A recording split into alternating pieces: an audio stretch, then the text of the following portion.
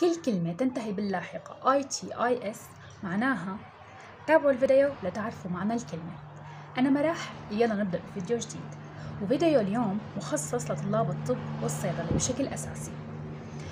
اليوم معلومتي رح تكون من محاضرة بالسنة الأولى. لهيك أنا على طول بحب أنصح الطلاب إنه يلتزموا بحضور محاضرات النظري بالجامعة بأي فرع وبأي اختصاص كان لأنه هذا الشيء كتير رح يفيدكم سواء بالدراسة أو حتى بحياتكم المهنية.